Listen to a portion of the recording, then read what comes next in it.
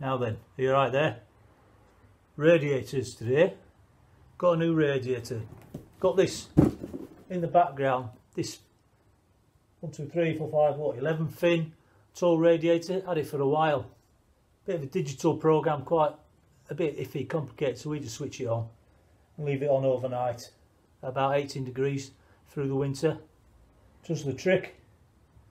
And uh, but I wanted a smaller one, so had a hunt um, this is a 750, seven fin one, so Warmlight, heating the heart of the home. Sounds alright, doesn't it? But yeah, seven fin, shorter one, but I just wanted it with a timer, um, just to play around with.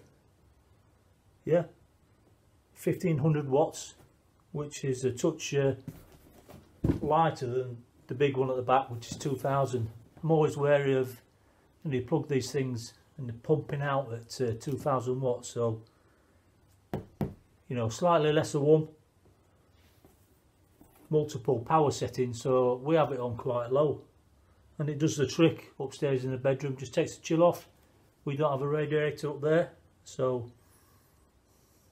it's out of the box upstairs so we're going to have a look at it. Yeah. So it's a Warmlight 7 fin tall oil filled radiator 1500 watts. Good stuff. All right. Here you go. This is the little baby unpacked.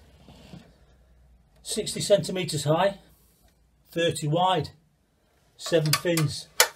Nice and compact. The only thing you've got to do when you unpack it four little casters to put on. Simple one screw through a hole a couple of minutes. And then you're ready to go. Nice and manoeuvrable this is a hard floor we've got here. But um, and really quite light. Which is what we wanted. Nothing complicated.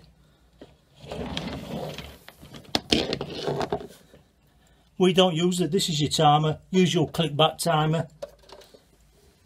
Set it to the right time. And then every 15 minutes for 24 hours you can have it coming on and off. That's the on off for the timer there little thermostat here 1 to 5 so we just have it in the middle. And these are your power settings up at the top.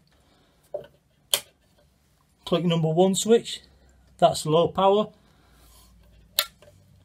Click number two switch on its own. That's medium. And then click them both down. That's high and for us we just have it on number one. Put it upstairs at nine o'clock leave it on low and just takes the chill off this bedroom. There's no radiators in here. And it just slots in at the side there. So Warmlight seven fin tall oil filled radiator definitely going to get another one. I think I'm going to leave one in the garage but this one goes between the bedroom and my office every day. So could end up getting another two. But I like it. We might start using that. Depends how cold it gets. Fingers crossed like normal. We don't get bad winters now do we? But great little bit of kit. Love it. So hunt it out online. Nice size. And it's only 1500 watts which is and you still get the power out of it. Okay until the next time. See ya